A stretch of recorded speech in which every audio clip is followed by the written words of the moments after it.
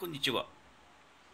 えー、おもちゃ大好き、トミカ大好き、親父です。今日はね、こちら。こ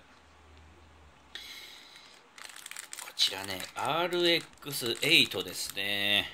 216円で、ハードオフさんに行ってね、買ってまいりました。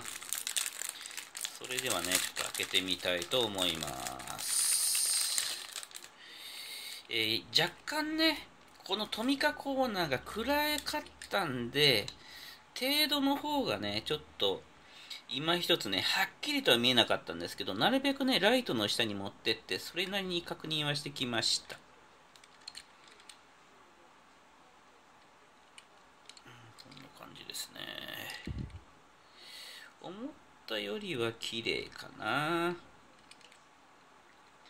少しね、このガラスの部分とかもちょっと若干擦れ傷が入っているような感じはあります。えっ、と、早速ですけど、アクションですね。はい。えっ、と、サスペンション。サスペンションのみかな。扉の開閉だとか、リアハッチとかは開きません。ボンネットも開きませんね。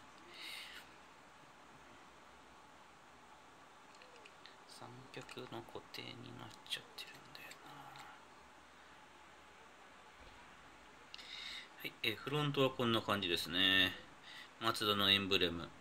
えーシルバーのライトですね、えーグリルが、えーシルバーの網目になってます。ダクトがちょっとありますね。これは黒の塗装なのかな？プラが出てるのかな？ボンネットはこんな感じです。サイドに行きまして、アルミがちょっとあれかな。さっきの、さっきのせもわかんないか。で、えーリアがこういう感じです。はい、マツダのエンブレムと、えーっと、これは、どどうなってんのかな？透明テールランプですけど、えテールランプですけどねクリアパーツに塗装なのかな？シールなのかな、まあ、そんな感じのがついてますね。逆サイド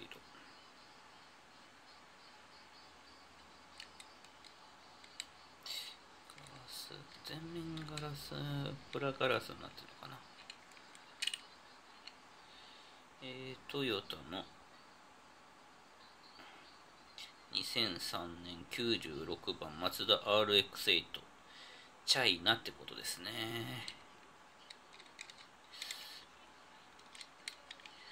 タイヤ実態はそんなへたれはないかな。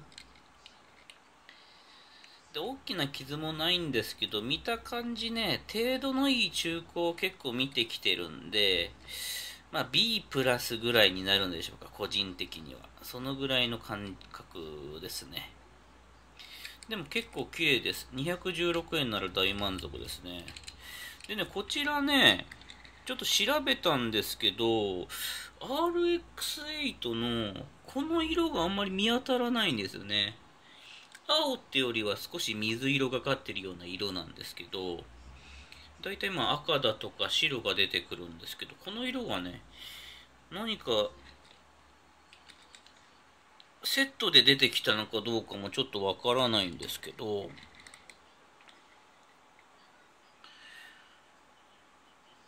一応まあトミカって書いてるんでまあ本物とは思うんですけどちょっとね色が珍しかったんでちょっと悩んでおります。やっぱりね RX8 嫌いじゃないんですけどやっぱりセブンの方が好きですね。はい。ってことでねご視聴ありがとうございました。またねトミカ関連見つけたら、えーご紹介したいと思います。それではまた。バイバイ。